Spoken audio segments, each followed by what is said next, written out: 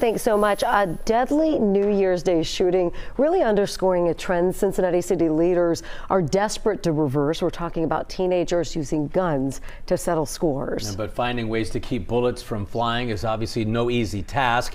WLWT News 5's Todd Dykes is on the story live tonight for us with a tried and true tactic that some say needs a bit of a reboot. Todd?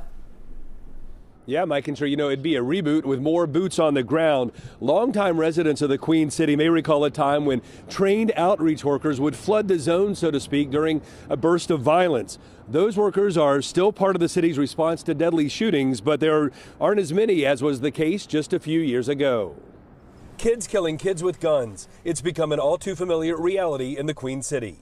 Some kids may be friends one day and then some posts happen on social media and then all of a sudden they're, they're enemies and then you're shooting.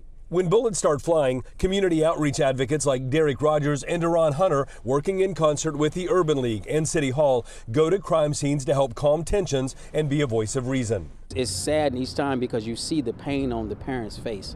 When Rogers was first trained to be an outreach worker more than a decade ago, he was one of 12. Now there are six. With teen gun violence spiking, he'd like to see that number tick back up.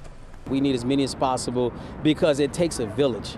Virginia Tallent, an assistant city manager, values what outreach workers do, but she said changes in criminal behavior are forcing officials to embrace new crime fighting models. So the face of violence in Cincinnati has shifted, and it, it used to be that it was really gangs of people Tallent said when gang activity was more prevalent, outreach workers were vital because they could help convince bad guys who called the shots to stop the violence. But now, many shootings are the result of spontaneous flare ups between kids carrying guns, flare ups that are often unpredictable. There's certainly more than one solution to these complex problems. So just the face of violence and like why violence is perpetrated is so fundamentally different and more complex that it's really why we've had to change our approach in terms of driving at root cause and solutions.